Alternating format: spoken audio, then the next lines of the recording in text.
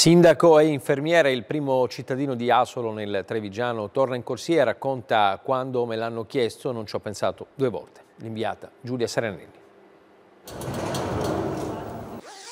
Adesso chiudo l'ufficio e eh, vado a fare il mio turno di pomeriggio nella rianimazione Covid di Montebelluna. Sindaco da sei anni, infermiere da sempre. Mauro Migliorini, il camice, l'aveva messo momentaneamente da parte. L'impegno da primo cittadino a tempo pieno nel comune di Asolo. Pochi giorni fa però una telefonata l'ha riportato in reparto.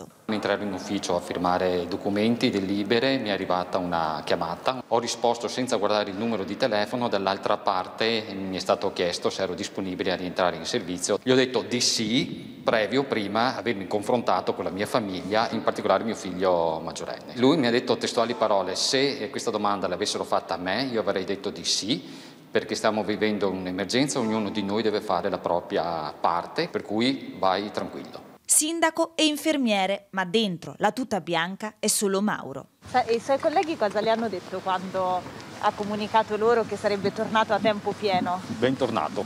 Bentornato? Sì, assolutamente sì. Allora, sindaco, buon lavoro. Grazie, buon lavoro anche a voi. E mi raccomando, restiamo a casa. Lasciate che lavoriamo noi, non vi vogliamo nostri pazienti.